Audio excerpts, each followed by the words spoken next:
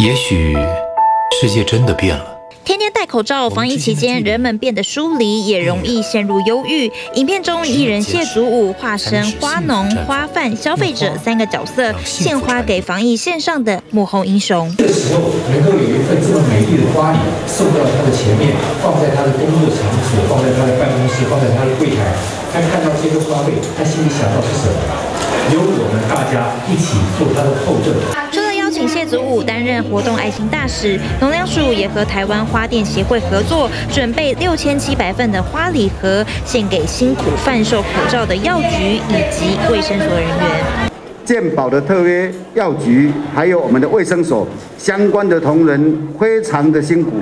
他们每一天呢，现在平均要服务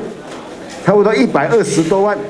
就这个来索取，近百位的花艺人员三天三夜赶工，要将精心准备的花礼盒送到全台六千多家的药局及卫生所，希望在疫情期间用美丽花朵疗愈他们的心。记者林继宪、王安宁台北报道。